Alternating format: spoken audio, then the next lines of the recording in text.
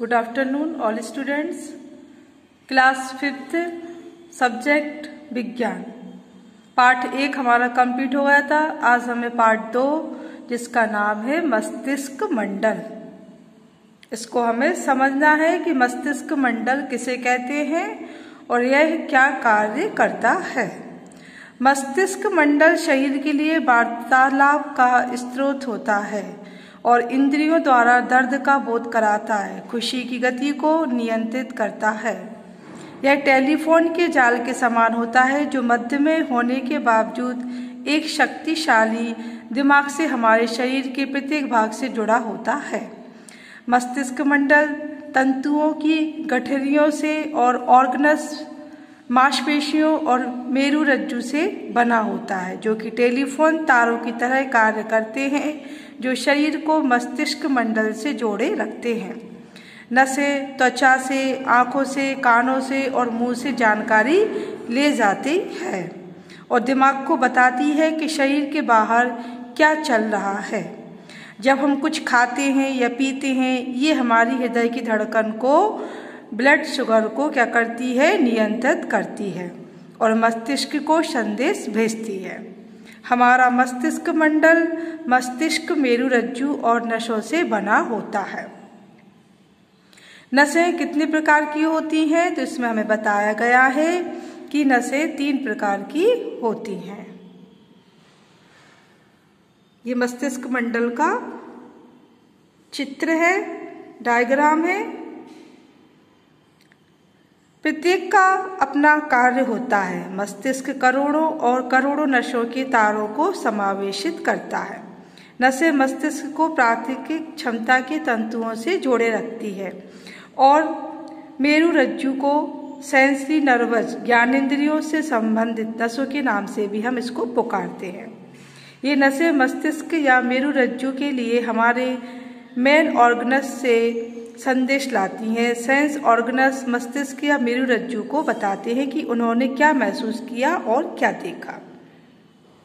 नसें जो मांसपेशियों और ग्रंथियों के नाम से भी जानी जाती हैं, वे मांसपेशियाँ और ग्रंथियों के लिए मस्तिष्क या मेरुरज्जु से ऑर्डर ले जाती हैं और किए गए कार्य के बारे में उन्हें जानकारी देती हैं।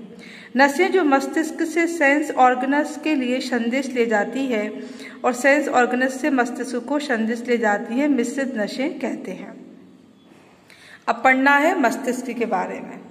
तुम अपने घर का रास्ता और अपनी कक्षा का पाठ कैसे याद रखते हो? तुम उस फ़िल्म की कहानी कैसे याद रखते हो जो तुमने एक महीने पहले देखी थी? वह क्षण जब तुम पैदा होते हो, तुम्हारा मस्तिष्क विचारों को, भावनाओं को या अनुभवों को क्या करता है? ग्रहण करता है। हमारा मस्तिष्क शरीर का नियंत्रण केंद्र होता है, जहाँ फैसले लिए जाते हैं और आज्ञा दी जाती है। यह एक नाजुक ऑर्गन होता है, जिसकी खोपड़ी द्वारा रक्षा की जाती है। खोपड़ी और मस्तिष्क के बीच का स्थान एक साफ़ द्रव से भरा होता है। मस्तिष्क एक सुपर कंप्यूटर होता है, जो कम से कम 100 बिलियन स्नायु कोशिकाओं का लगभग 100 ट्रिलियन स्थानों से जोड़े रखता है। मस्तिष्क को हमने तीन भागों में बांटा है। मस्तिष्क का सबसे बड़ा भाग सेरेब्रम होता है। यह मस्तिष्क का सोचने वाला भाग होता है। यह गणित को हल करने में, समस्याओं को हल करने में रहस्यों को खोजने में, कंप्यूटर को याद करने में, तारीख और दुर्घटनाओं को याद करने में सहायता करता है। यह वह भाग होता है जो हमें कारण बताता है यह किसी अन्य जानवर की अपेक्षा मानव में अत्यधिक विकसित होता है।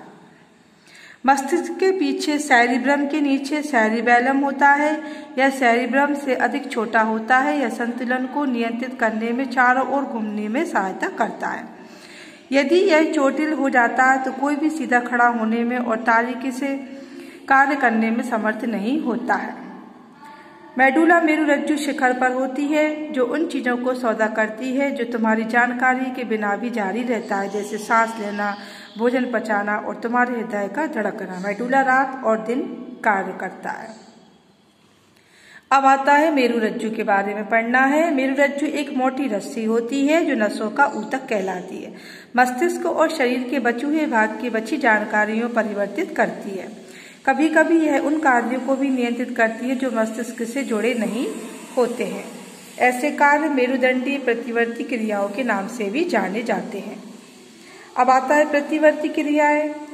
हमें कुछ प्रतिवर्ती क्रियाओं से जागरूक होते हैं, जैसे अचानक पलकों का तेज़ी से समापन होना।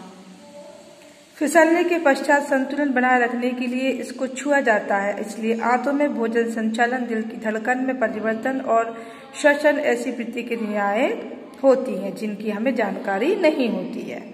नीचे प्रतिवर्ती क्रियाओं के हमें कुछ उदाहरण दिए हैं। देखो ये।